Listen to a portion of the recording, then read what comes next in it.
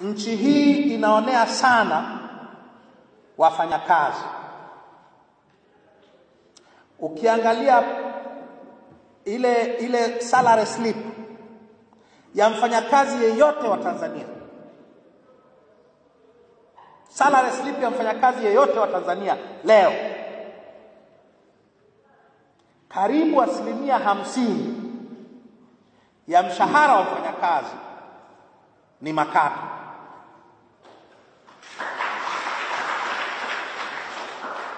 Karibu asilimia hamsini ya, ya, ya mshahara wa mfanyakazi wa leo wa Tanzania ni makato haya au yale.